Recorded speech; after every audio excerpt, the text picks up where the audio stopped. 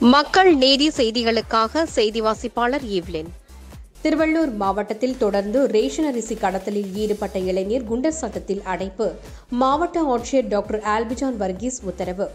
திருவள்ளூர் மாவட்டம் பாடியநல்லூர் விஜயநல்லூர் சுங்கசாவடி வழியாக ஆந்திராவிற்கு ரேஷன் அரிசி கடத்தப்படுவதாக குடிமைப் பொருள் குற்றப்பிரிவு போலீசாருக்கு கிடைத்த ரகசிய தகவலின் அடிப்படையில் டிஜிபி ஆபாசகுமார் உத்தரவின் பேரில் எஸ்பி ஸ்டாலின் மேற்பார்வையில் டிஎஸ்பி கிருஷ்ணன் தலைமையில் ஆய்வாளர் கலைச்செல்வி உதவி ஆய்வாளர் நந்தினி உஷா ஆகியோர் கொண்ட போலீசார் விஜயநல்லூர் சோதனை சாவடி அருகே செங்குன்றம் பகுதியிலிருந்து ஆந்திரா நோக்கி வந்த லாரியை மடக்கி சோதனை செய்தபொழுது பதினெட்டு டன் ரேஷன் அரிசி கடத்தப்பட்டது.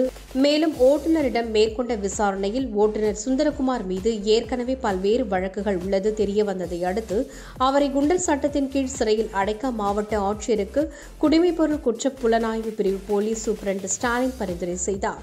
பரிந்துரையை ஏற்று சுந்தரகுமாரை குண்டர் சட்டத்தின் கீழ் சிறையில் அடைக்க மாவட்ட ஆட்சியர் டாக்டர் ஆல்பிஜான் வர்கீஸ் உத்தரவிட்டார். இதனை அடுத்து சுந்தரகுமார் திருவள்ளூர் கிளை சிறையில் அடைக்கப்பட்டார்.